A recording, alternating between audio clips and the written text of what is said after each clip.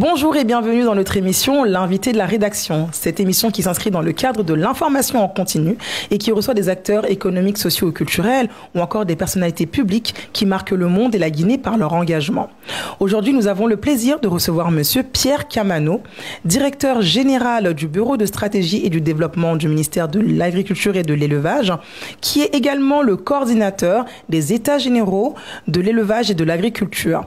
Un ancien fonctionnaire qui évolue dans le domaine de l'agriculture et de l'élevage. Il a travaillé à la CEDAO, donc sur le plan international, depuis plus de dix ans. Bonjour, Monsieur Camano. Bonjour, Madame, et bonjour à vos millions de téléspectateurs et téléspectatrices. Comment vous allez? Ah, je vais très bien, je vais très bien. Pas trop stressé, nous sommes quand même à... Non, je suis serein et voilà. Nous sommes à quelques heures maintenant, donc à 40, moins 48 heures des États généraux euh, de l'agriculture et de l'élevage. C'est la première édition. Pourquoi euh, l'avoir fait? Quel est le constat euh, jusqu'à ce que vous ayez choisi d'organiser de, cet événement-là? Ces États généraux de l'agriculture et de l'élevage, c'est pour partir sur cette base de la vision du chef de l'État et aussi cette vision qui est vraiment partagée par le CNRD, c'est de faire la refondation de l'État, c'est faire la rectification institutionnelle et par conséquent, nous aussi, au niveau du ministère de l'Agriculture et de l'Élevage, il faut faire les états généraux de l'agriculture et de l'élevage. Parce que la Guinée euh, a un potentiel agricole énorme.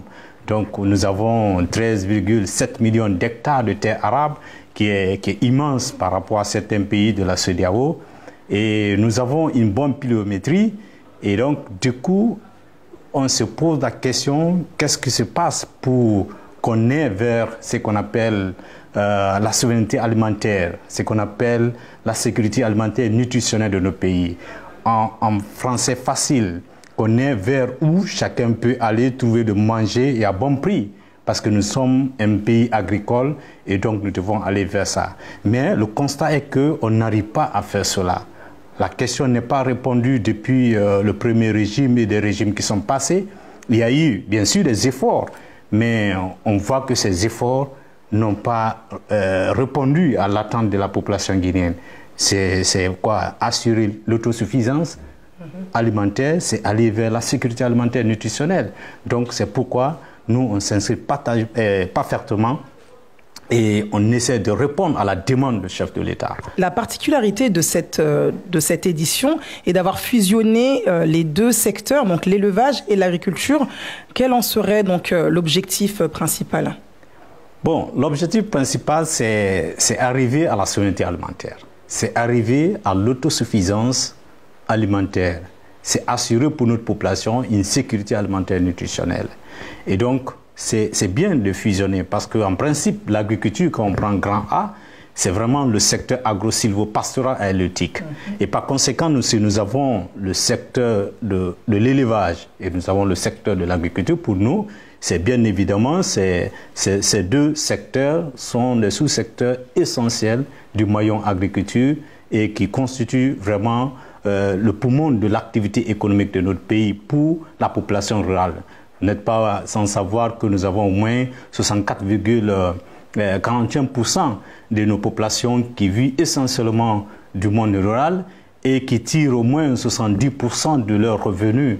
Et donc, euh, la richesse qu'ils gagnent de ça, c'est vraiment des activités agricoles. Ça montre combien de fois qu'il faut vraiment encore mettre ce secteur agropastoral sur la platine pour permettre à notre pays de répondre à des questions de besoins alimentaires et aussi d'aller vers l'essentiel.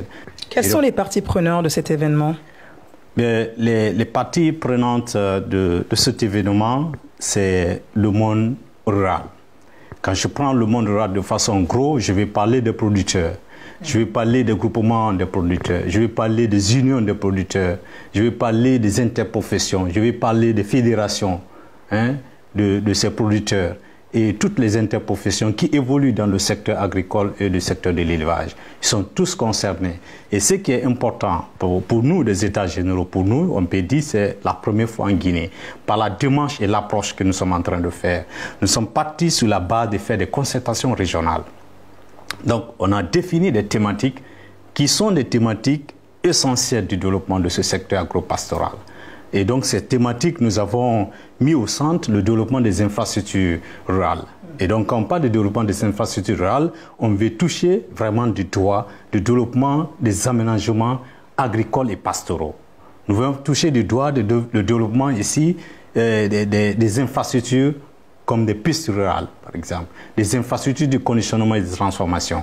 Et donc, on veut toucher de tout ça, mais derrière, qu'est-ce qu'on se dit? Quelle doit être l'approche de durabilité?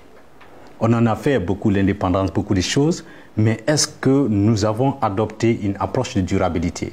On en a aménagé des plaines qui sont aujourd'hui abandonnées. C'est parce que simplement on n'a pas intégré la durabilité.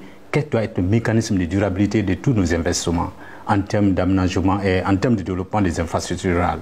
Si on veut faire des, des, des, plaines, on veut aménager des plaines, on veut faire des aménagements pastoraux, on veut faire des pistes rurales, on veut faire des infrastructures de conditionnement de stockage, il faut aller vers l'approche de durabilité qui permet d'aller de l'avant. Et donc c'est ça notion. Concrètement, un agriculteur ou un éleveur, au bout de ces trois jours d'état généraux, aura des résultats palpables sur son, sur son activité.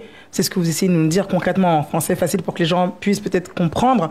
Euh, ce serait qu'un un éleveur ou un agriculteur euh, pourra se connecter sur cette plateforme qui, je ne sais pas, euh, qui est mise à disposition donc de ces personnes-là, euh, des travailleurs, et euh, qui leur facilitera donc euh, l'achat ou bien le conditionnement de, de, toutes ces semences-là.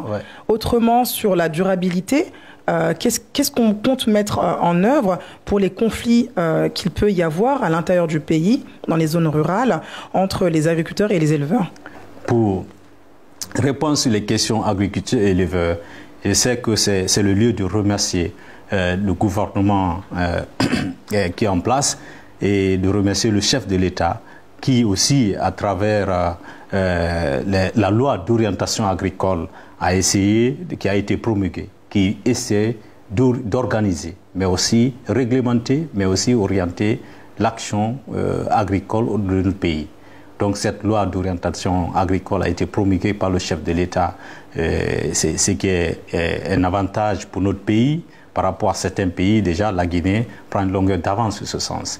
Mais aussi, il y a ici le code pastoral qui a été aussi promulgué au même titre que la loi d'orientation agricole. Donc ces deux instruments juridiques permettent aujourd'hui de faire de notre agriculture vraiment une réalité qui s'inscrit dans la logique du développement parfait. Donc il faut poser maintenant des actions pratiques qui permettent vraiment de décoller et donc se frayer un chemin clair dit où on va et comment on va aller pour y arriver à une destination qui va être au bénéfice de tous les Guinéens. Tout à l'heure, vous avez donné un chiffre sur l'étendue euh, des territoires que nous pourrions euh, euh, utiliser pour, pour travailler la terre.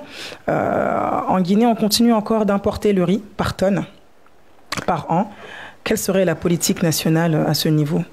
Mais, ça, c'est pour dire la raison, hein, le bien fondé de ces états généraux de l'agriculture et de l'élevage parce qu'on ne peut pas accepter qu'on ait euh, vraiment euh, des terres de 13,7 millions d'hectares, de terres arabes, et qu'on ait une biométrie qui soit abondante et à tout moment, et que nous, on importe du riz. Il y a un paradoxe.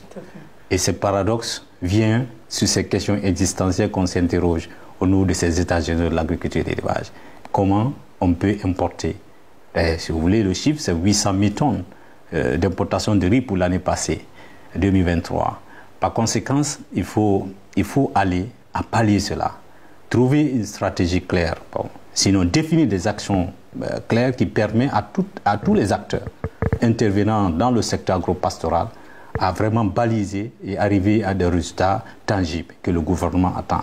Et donc, par conséquent, il faut aménager vraiment des terres hein, qui permettent vraiment de, de non seulement de cultiver du riz et qui permet d'avoir une récolte et avoir une production du riz importante jusqu'à ce que on résorbe d'abord les 800 000 tonnes. Mhm. On résorbe cela et par conséquent, on va au-delà de ce qu'on a résorbé, on produit plus jusqu'à aller à l'exportation. Aujourd'hui, nous avons quand même beaucoup de jeunes qui retournent à l'agriculture. Euh, nous avons des jeunes, beaucoup aussi de diaspora qui achètent des terres euh, vers Koya, Dubreka, Kindia pour euh, cultiver que ce soit donc l'ananas, pastèque, tout ce genre de, de, légumes et de fruits que nous avons la chance d'avoir en Guinée, qui sont d'ailleurs excellents. Est-ce que vous avez une politique pour accompagner ces personnes? Oui, en termes de politique, donc c'est le moment aussi pour dire que le sixième panel des États généraux de l'agriculture et l'élevage porte sur l'employabilité des jeunes dans le secteur, des jeunes et des femmes dans le secteur agropastoral.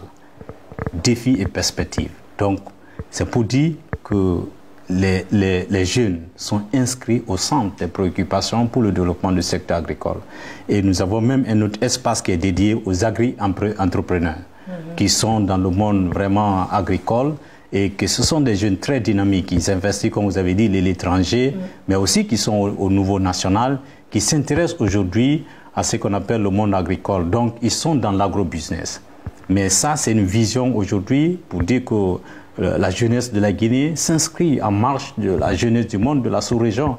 Partez au Nigeria, au Ghana, nous avons beaucoup de jeunes qui sont dans l'agrobusiness, qui fait que si vous êtes dedans, comme on dit, la terre ne trahit pas.